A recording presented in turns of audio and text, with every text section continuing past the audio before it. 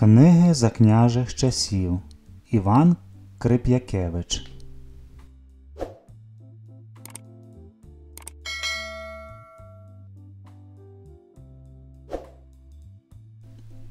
При дворах давніх українських князів перебували різні вчені й письменники. Тоді ще не було друкованих книжок. Хто бажав мати в себе книжку, мусив або сам переписувати її, або дати переписувати вченому писареві. Переписування однієї книги тривало цілі місяці. Писали тоді, звичайно, не на папері, а на тонкій шкірі, телячій або ослячій. Для писання брали гусяче перо, чорнило робили із сажі.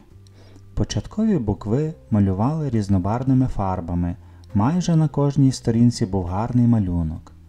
Князі збирали такі рукописи і зберігали їх у своїх бібліотеках.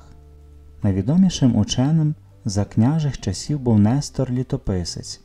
Він був монахом Печерського монастиря у Києві. З молодих літ він цікавився минулими часами, збирав давні рукописи, записував перекази про життя слов'янських племен, про перших князів, їх війни і походи.